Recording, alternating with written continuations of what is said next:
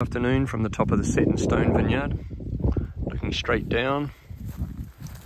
That's the Zinfandel for Set in Stone, which used to be the San Lorenzo vineyard for Seghesio, 120 year old. And that is Merlot further down, but we do not use that for Set in Stone.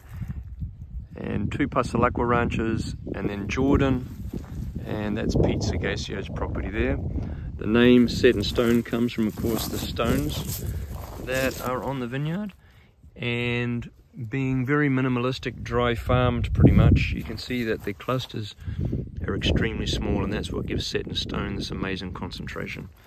Incredible vineyard, southern part of the Alexander Valley, looking at Fitch Mountain.